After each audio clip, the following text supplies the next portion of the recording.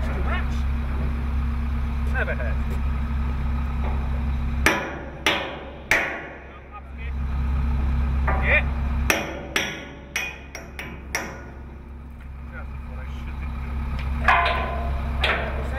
Get a pin over here.